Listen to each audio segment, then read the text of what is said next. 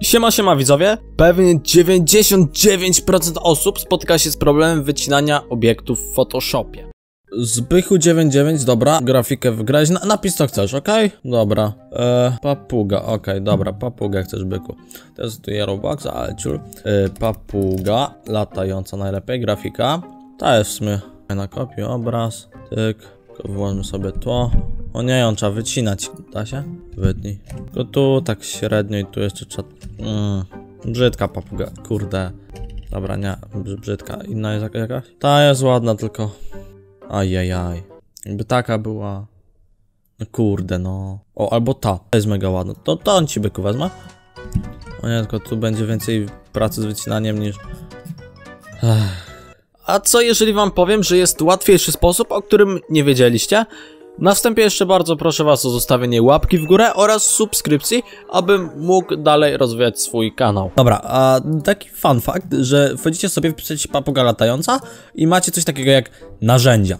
Wchodzicie w kolor i macie tutaj coś takiego jak przeźroczyste i tym sposobem dostajecie taką papugę, co tam była na zdjęciu, przeźroczystą. Kopiecie obraz, możecie sobie wkleić. Tylko co dzieje się, jeżeli nie jest przeźroczysta? Bo tak właśnie kopia, e, kopiowanie obrazu nie działa.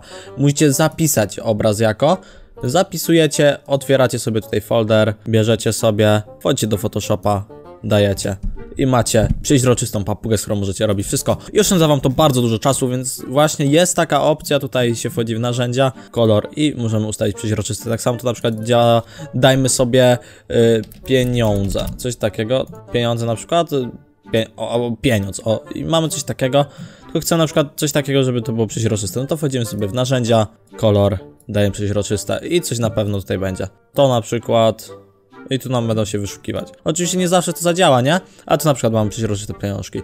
Takie monetki, widzicie? Fajnie, szybko działa, Bogu myślę. Jak się wam to przyda, to, to się będę cieszył. Jeszcze mały fakt. Pewnie mieliście spam na Discordzie, ale nie za duży i chcieliście usunąć wiadomości. Kurde, jakiś matą, znaczy się ja, naspamił. No i co teraz zrobić, no? No nawet, kurde, widzicie jaki ham? Widzicie jaki ham? Jak przeklina? Nie no, nie wolno przeklinać. Nie, nie, nie, nie, nie, nie wolno przeklinać na tym Discordzie, oj nie, nie. Ale kurde, debil nas spamił. To, no to trzeba te wiadomości usuwać. Zamiast kinda clear, no to w sumie dużo tego nie ma, nie chcę mi się liczyć ile to jest, no to tak. Tylko kurde, tak usuwać powoli.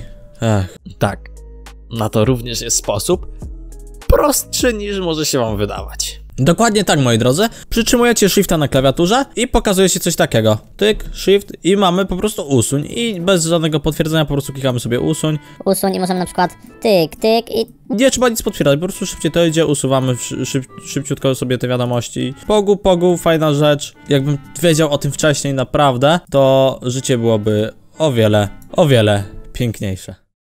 Dobra, dajmy mu tego unbana. Niech się cieszy.